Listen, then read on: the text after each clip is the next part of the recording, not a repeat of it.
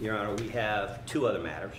One is a motion I believe I copied, Your Honor, and opposing in all counsel with yesterday. That's a motion sever. Uh, You know, as evidence developed during the testimony of Travis McMichael, and- and as we went through the charge conference on Friday, uh, it does seem at this point, for the reasons that are stated in the motion, uh, that Mr. Bryan's defenses are sufficiently antagonistic, and there's certainly sufficient spillover if, from nothing else, the vigilante evidence uh, that was presented against Travis McMichael on Thursday. Uh, And under the totality of circumstances, we believe that Mr. Bryan is entitled to a severance. But beyond that, I will stand on the written motion as filed. From the state? Your Honor, we ask that the court deny um, the motion for sever.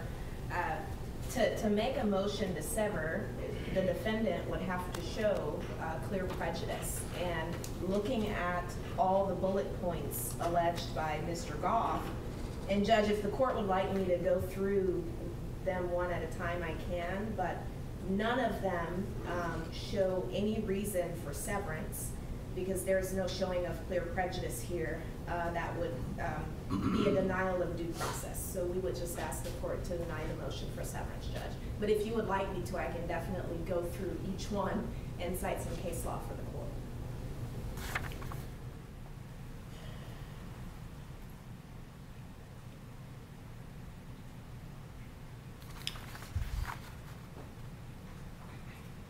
I think we need to make a clear record on it. The other issue I have is, uh, this is after the close of all evidence. So I don't believe it's, it's even timely. Um, There is very little, if anything, about this case that had not been already addressed by the court from an evidentiary standpoint, well prior to even the swearing of the panel. And this has not been raised uh, in a formal motion, although it was threatened, discussed, not, well, not discussed, it was threatened a number of times during the trial. It was never actually submitted as a motion, so I believe, to begin with, it's untimely, but I, I would like to hear from the state on the, uh, the basis And, that the Your uh, Honor- state believes that it should be denied. And Your Honor, unless I'm mistaken, I believe it was raised in his omnibus packet, but um, from the July motions, was it raised in your o- omnibus packet? I believe it was. I think we reserved it in, in the omnibus. uh, I- My recollection is it's, it was reserved, Okay. uh, consistent with what's taking place during the trial. Um, I know we had prepared a, a written motion for severance, and and we elected not to file it uh, earlier in the case. But I think the charge conference on Friday covered a great many legal issues which had been unresolved prior to Friday. Legal issues that are at the heart of this case. Your Honor will recall the discussion of several points that it was suggested were akin to directing verdicts of guilt. Uh, The other issue is the vigilante social media or, or messaging uh, that came in on Thursday afternoon during the cross-examination of Travis McMichael. Now, I'm not saying that somewhere in 20 million gigabytes worth of discovery, that wasn't, that wasn't, lo- that wasn't there. I'm sure it was. But the state had not indicated, I don't believe, to any of the counsel in advance of the trial that they intended to use that. They did not use all kinds of other evidence uh, that was highly prejudicial. But in any event, until they actually present that testimony, they don't create that issue. And then there's also the after-the-fact conspiracy issue and spillover from the unindicted fourth defendant, Jackie Johnson, uh, and the complications that has created. Anyway, Your Honor, uh, I filed a motion, the court can deny it, it's untimely, the court can hear from the state, and we can go from there. Yeah, I'll, I'll hear from the state. I just want to make sure we've got a clear record on it. Go ahead. So, Your Honor, in ruling on a severance motion, the court should consider the likelihood of confusion of the evidence in law, the possibility that evidence against one defendant may be considered against the other defendant, and the presence or absence of antagonistic defenses. We don't believe we have antagonistic defenses here. A defendant who requests severance bears the burden to make a clear showing that a joint trial would lead to prejudice and a consequent denial of due process. Um, notably, a showing that a separate trial merely would give the defendant a better chance of acquittal is insufficient. Um, in terms of the actual bullet points in the motion, Judge, I think numbers one through five essentially deal with um, voir dire, uh, Jackie Johnson, something from the Atlanta Journal Constitution, I believe Mr. Gough meant to put. It says prosecution, and other media outlets that are talking about Ms. Johnson being the fourth defendant. Also, he mentioned that several jurors have expressed concern about the delay in the prosecution in the case. I think he meant to put their potential jurors. Um, as far as bullets one through five go, the potential jurors were questioned, Judge, at length about opinions regarding the delay in the arrests of the McMichaels and Mr. Bryan. Those jurors or potential jurors who said they could not be fair and impartial due to their feelings about the delay, if any, were excused by the court for cause. Those jurors said that uh, they could be fair and impartial, or the jurors we have seated here making up the jury for this case. Also, the court has instructed the jury to stay away from the news media on this case, um, and we've seen no evidence that they've actually not been able to follow that law. There's absolutely absolutely no evidence that they went and saw the AJC article that Mr. Gough is talking about. Therefore, we don't believe he's made a clear showing of precedence. Uh, I'm sorry, prejudice in bullets one through five. As far as bullets uh, six through seven, the only evidence of Greg McMichael's ties to the Glynn County Police Department is that maybe a few of the officers, I believe um, Detective Lowry testified that he knew Greg McMichael in passing. Um, Detective Parker Marcy also, I believe he testified that he knew of him, but they didn't have any close relationships with Greg McMichael that would tend to show any reason for a cover up. Also, notably, Jackie Johnson's name was never ever mentioned in the presentation of evidence in this case, Judge. Mr. Gough is the only person who keeps bringing her, up her name. Uh, we have not elicited any evidence of a cover up. We don't intend to argue any cover up because it would be unsupported by the evidence. So here he's made no showing of uh, clear prejudice to his, to his client. As to bullet eight, the evidence showed that Greg McMichael and William Bryan knew each other, but they didn't know each other very well. Actually, um, Mr. Bryan didn't even know Greg McMichael had a son named Travis McMichael. Uh, Travis McMichael testified that he never met William Bryan, and there was no express agreement between the McMichaels and Mr. Bryan. There was evidence presented that Mr. Bryan and Greg McMichael were talking to one another right after the homicide happened and during the time when the officers got on scene. But this evidence, even if he were to get a separate trial, would still be admissible in his separate trial.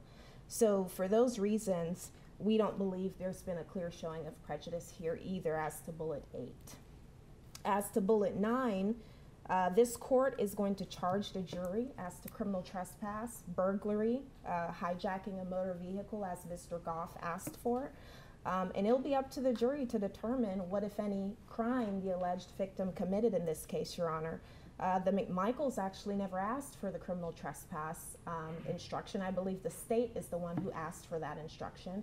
And if Mr. Bryan were to go to trial separately, we would likewise ask for that instruction in his separate trial as well. So, um, given that, we don't believe a severance is necessary here.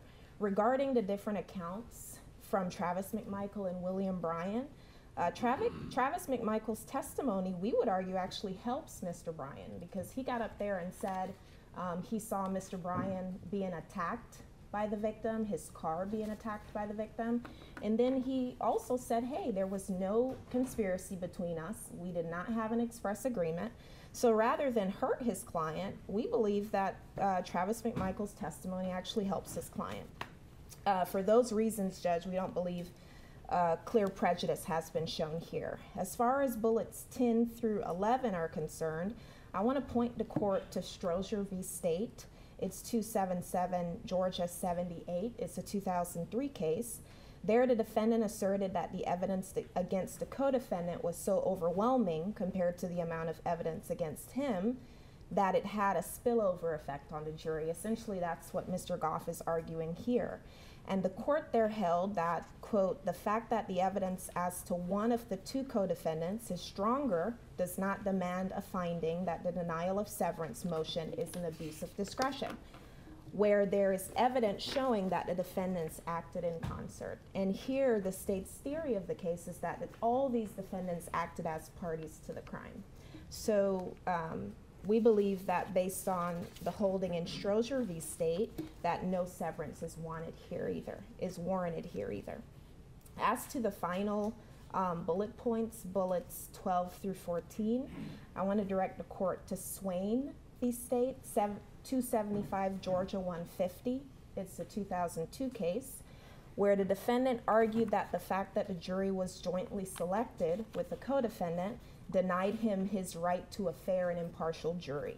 And in this regard, he argued that the jury was not fair and impartial because a jury chosen by two defendants would be different from a jury chosen by one defendant.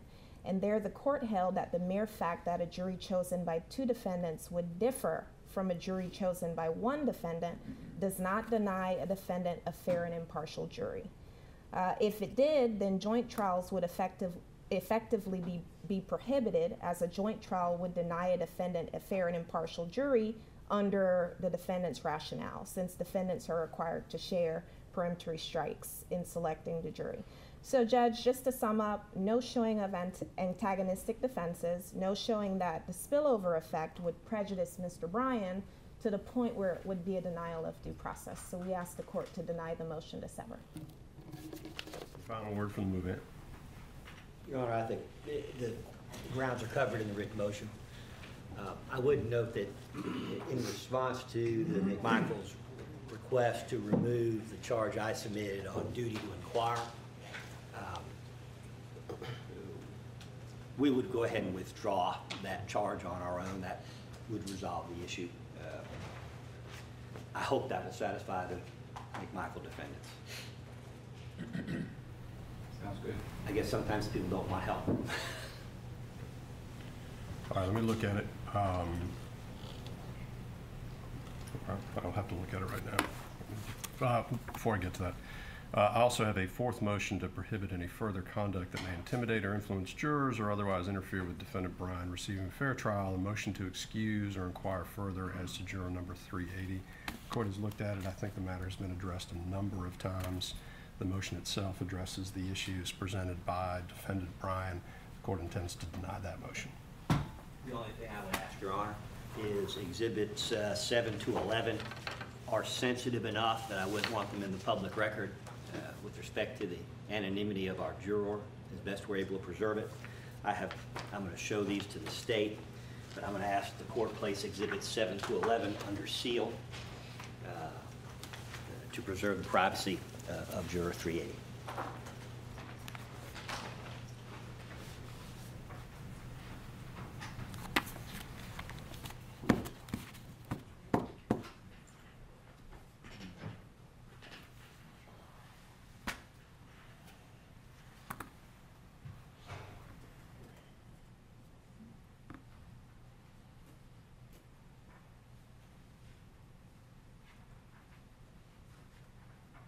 Think the other defendants probably need to see the matters before they're Yes. placed under seal.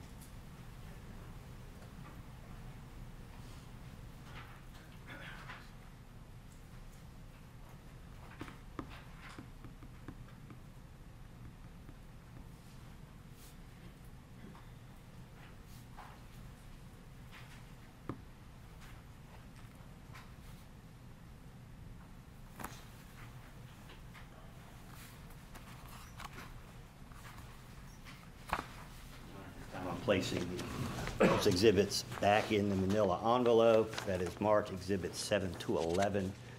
Um, Probably should have left them out before I did that, My apologies. Well, For the time being, I'm just going to attach them to the back side of the motion, Yes, sir. and we'll go ahead and put a sealing order on there. I understand the state has no objection to sealing these. I guess I should probably take a look before we do that.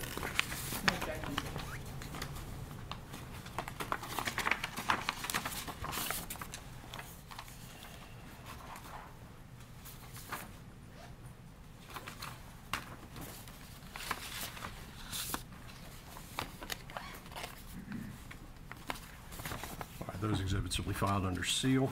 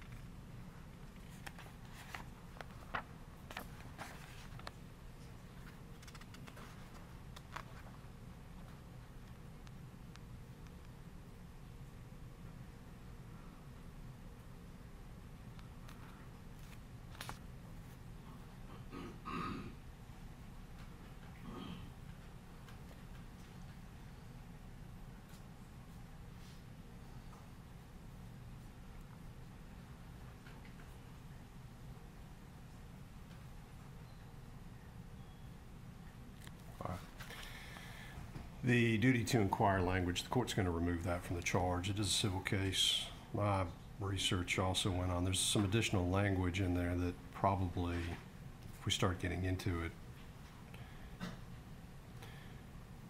so what I also have is that in addition to that language, which was specifically requested by defendant Bryan, some additional language could also be that the defendant's not necessarily required to verify the information it appears to be reliable, but, and it goes on from there. So I think with that language in there and it being primarily based on a civil case, I'm going to go ahead and remove it. I don't think it's necessary for this charge. So that is the only change the court is making from the draft charge. That again is the citizen's arrest duty to inquire on page 16. Those, that one sentence is being removed. All right. With that, is the state ready to proceed?